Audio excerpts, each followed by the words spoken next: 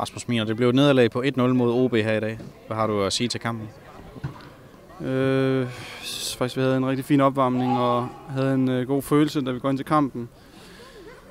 Så synes jeg, det første kvarter, der, der er vi ikke til stede. Vi er ikke øh, ærkære over for bolden og smider mange dumme bolde væk. Og øh, de får pr- sat et jerngreb på os, synes jeg, og får, øh, Goofy får nogle gode redninger dernede, men så skruer de desværre efter 10 minutter, tror jeg.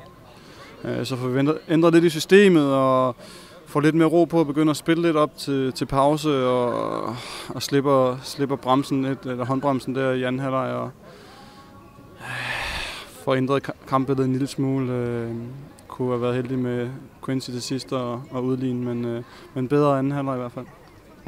Som øh, du siger i første halvleg, vi får lavet det her systemskifte. Hvilken betydning får det? Jamen, øh, vi får sat vores pres lidt øh, anderledes og øh, øh, får stjålet lidt flere bolde inde i central, hvor vi ved, de er dygtige. Øh, og der rammer de os lidt for meget i især det første kvarter. Øh, så, så der får vi stjålet lidt flere bolde og bliver lidt mere, får lidt mere ro på kuglen. Øh, så ja, Her efter kampen, synes du så, at vi skulle have haft mere øh, med herfra?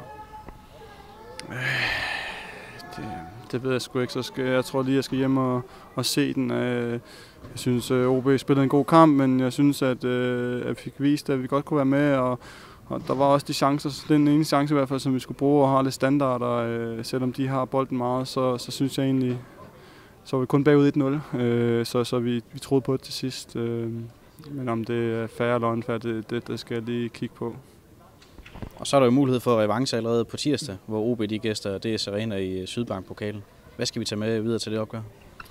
Jamen, vi skal tage noget af det med, vi, vi havde i anden halvleg. Øh, hvor vi, vi fik sat vores pres en lille smule bedre. Jeg synes stadig, vi skal være bedre i vores, vores presspil. Øh, så skal vi ture spille. Øh, de er ikke farlige, og øh, man kunne se lige så snart, vi begyndte at sætte lidt bolde sammen, så, så fik vi også øh, chancerne. Øh, så øh, vi skal turde spille og, og slippe håndbremsen lidt, og ja, så glæder jeg mig meget til at se dem igen på, på DS Arena.